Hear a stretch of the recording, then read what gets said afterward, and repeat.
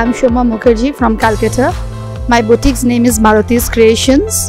So as we are selling all the Bengal stuffs, we have we are specialized in silks, tussars, check silks, uh, hand embroideries on tussar silks, cut works.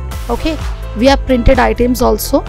And the thing is that uh, our range starts from and linens and cottons are also there.